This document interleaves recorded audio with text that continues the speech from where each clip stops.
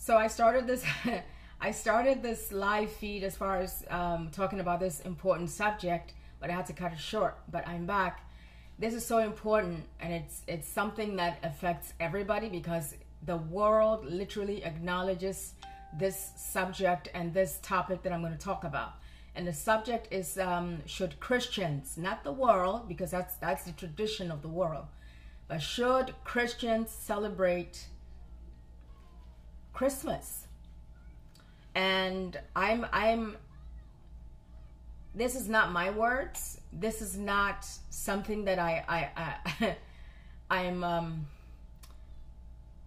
it's not it's not pleasant as far as just me just wanting to just bash people and and step down on people and and stuff like that. No. But this is something that as christians we have to know if we're not aware christmas has nothing to do with god Christmas is a tradition of the world. It's a tradition that the whole world has, has embraced.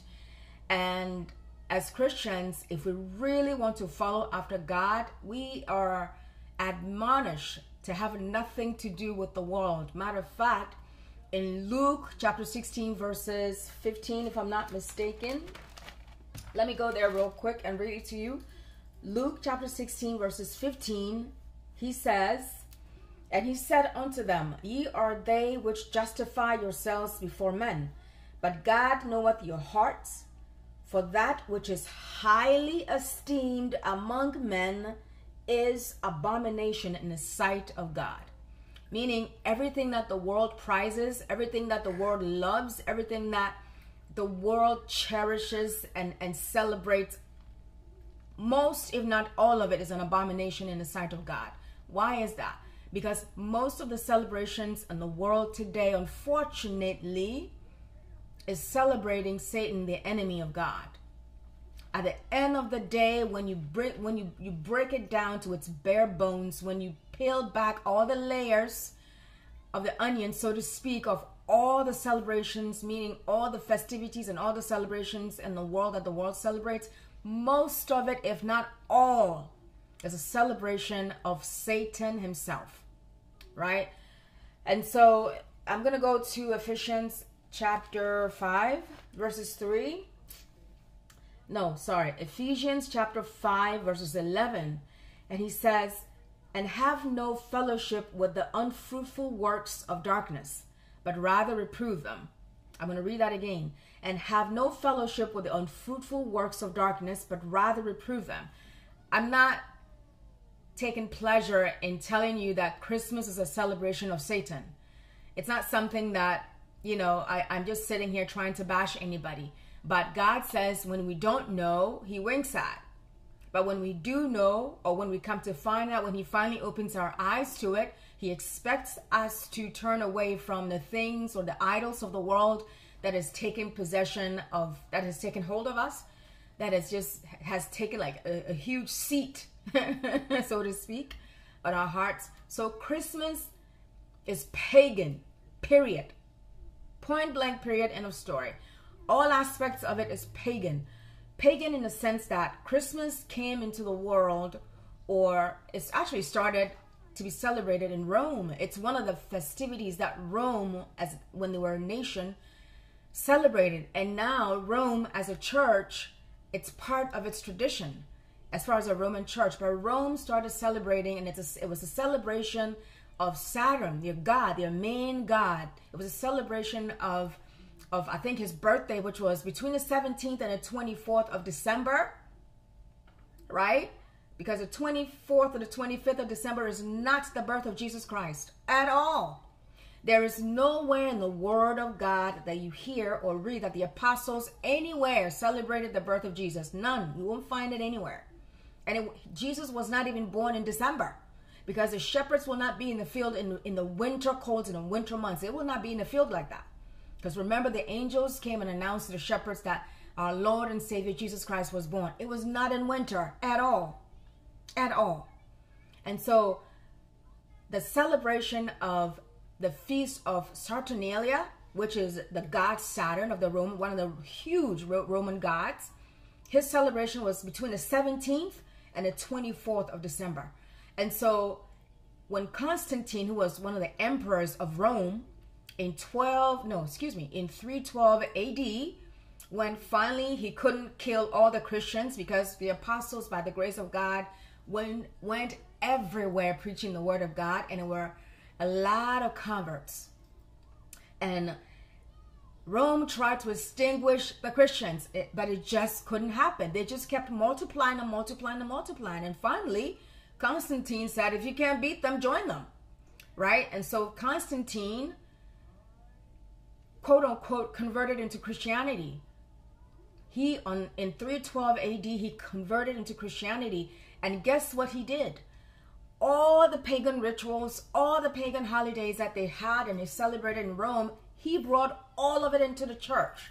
They just changed the names of it, right? And so Chris Christmas, even though it sounds like, you know, there's Christ in there, it has nothing to do with Christ. It's Christ Mass. It's a mass celebration that they celebrate, right? And so Constantine comes into the church and he brings all the pagan rituals and all the pagan rites and all the pagan festivities and celebrations into the church. And since then, somehow the world has embraced this, this pagan, pagan at its root. Because literally, the gift giving, the image of Santa Claus, this, this, this, the Christmas stockings, the Christmas caroling, the decking of the halls, with holly and decorating the trees. They're all actual aspects of pagan rituals that was done for Saturnalia, Saturn, the Roman god. And so it has nothing to do with Jesus Christ. So if you are wondering, should I celebrate Christmas as a Christian? The answer to you, my brother and my sister, and I say that with humility and I say that humbly, the answer is no, because there's nowhere in the Word of God that God has commanded us to celebrate Christmas anywhere. There's nowhere in the Word of God that the apostles have told us to celebrate Jesus Christ. The only thing the Lord tells us to celebrate or has allowed us to celebrate is the Lord's Supper. Like like drinking the wine and eating the bread in his name in remembrance of his of his death and his resurrection. And so Jesus Christ should not be celebrated as a baby constantly every year. No, he is a king. He's a living king. He is in the holies of holies. He's in the holy of holies right now, the king of the universe interceding for you and I, waiting for us to come to him so he can put he can help us put away our sins anyone that celebrates Christmas, basically you're turning your back on God because you're celebrating Satan. And guess what? That's the name Santa. That's Satan spelled backwards.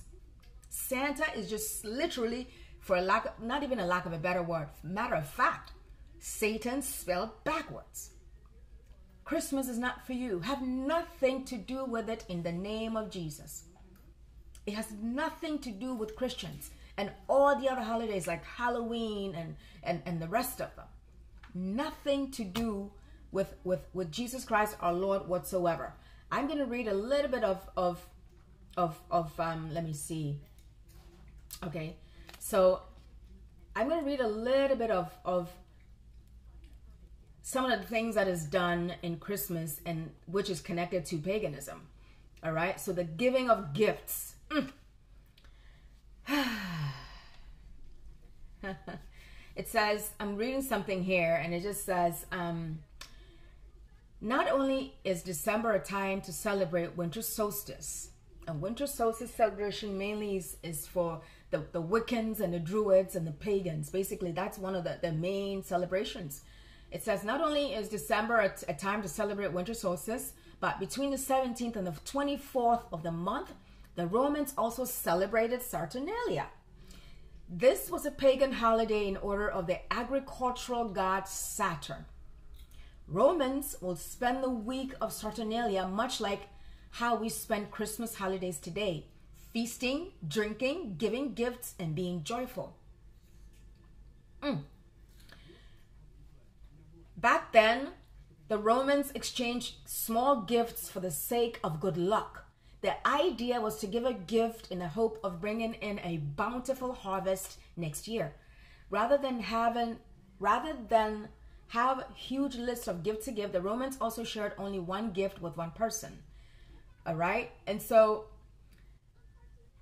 there's there's no other way for me to just say it over and over again every aspect of, of of course now it's commercialized and it's made universal and and people are making big bucks and big money on it but at the end of the day at its core at its roots it is a celebration of the devil of satan himself because saturn is satan himself so have nothing to do with it. Not the caroling, not the songs, not the gift giving, not the decorating of trees, not drinking the eggnogs. All of it have pagan roots. And actually, the caroling that you know people will go around singing stuff like that for people. That was to to to to, to for lack of a better word, that, that was to push away or to drive away de- demonic spirits. They they'll go about in the towns and the countries back then, as far as in a celebration of Saturnalia, and sing for people, right? Trying to, to drive away demon spirits or or to, to drive away evil spirits. And then of course the, the eggnog, that used to be a drink that they drank. They made and they drank that drink while they were singing those carols. It is pagan at its core. Have nothing to do with it. It is not for you. If you love Jesus Christ, if you have a heart to follow God all the way, because he says he that comes after me, you have to forsake everything. That includes the customs of the world, the traditions of the world, the habits of the world. It's not pleasant. It's not pleasant as far as maybe you hearing me say this, but following Christ comes at a cost. It comes at a price. You have to pick up your cross and follow Jesus Christ. And that also means letting go of certain certain things that is that is letting go of the world, period letting go of the world, period. Because you cannot serve God and mammon, meaning you cannot serve God and the world. You cannot have one foot in the church and one foot in the world. God says, He calls, you know, that kind of condition of, or that kind of Christians, He calls them lukewarm. And when you read the book of Revelations, guess what He said about lukewarm Christians? Christians that are not fully committed, Christians that are following him for gain, Christians that are just, you know, want to follow God because it's a popular thing to do. Christians that have one foot in the world and one foot in the in the church. He calls those kinds of Christians lukewarm and he says he's going to spew you out of out of his mouth. He's going to vomit you out because it is detestable for him. It, it, it's it's it's an abomination to him. He says the things that men esteem is an abomination unto him. And Paul is saying, have no fellowship with the unfruitful works of darkness. Right? And so I say all that to say Christmas is not for you, my brother and my sister. Have nothing to do with it. The way to celebrate Jesus Christ, he's already told us, is when we, we drink the Lord's Supper. That's number one. And number two, being a blessing to your fellow men. And number three, let's walk the talk.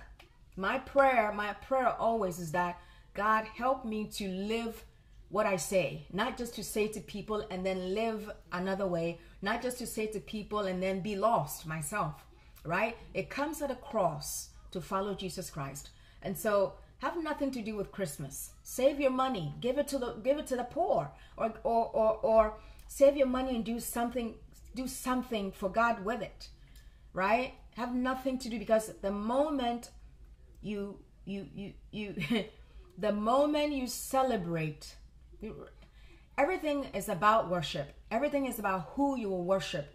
Everything is about who will have your heart as far as when it comes to uh, uh, uh, uh spirituality. And god wants all your worship. God wants all your heart. He wants all your mind. He wants everything about you. Because guess what? The moment you participate in any part of Christmas, any part of any holidays and festivities, you're literally worshiping Satan, whether you know it or not. And as hard as it is for me to say it, and as hard as it is for you to hear it, it's the truth. I'm sorry, my brothers and sisters, but I have to say it. Because if I don't, God will hold me accountable for what I know and not speaking right? And now that you have heard, it is It is it is our duty, yours and mine, to turn away from anything that God opens our eyes to or gives us understanding about.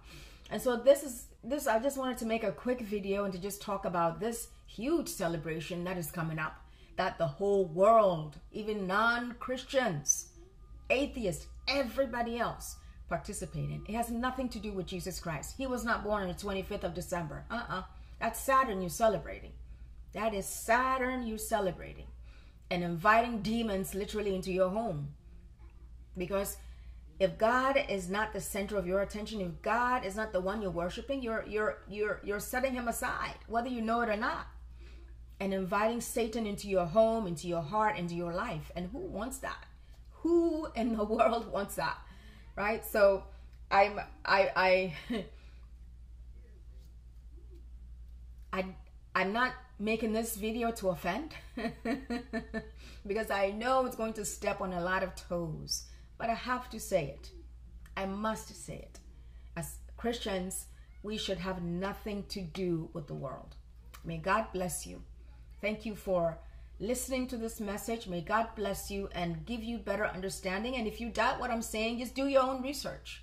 You don't have to listen to what I'm saying at all do your own research and find out for yourself. And matter of fact, pray to the Holy Spirit to give you understanding, to open your eyes, to open your heart, to give you understanding. Forget what I just said. Pray to the Holy Spirit to show you whether what, what I've just said to you is the truth or a lie. And then you decide from there and go from there. But it but I hope that God blesses you. I hope that God keeps you. I hope that God ha- has mercy on you and, and, and, and, and continue to guide you into our heavenly home. Until next time.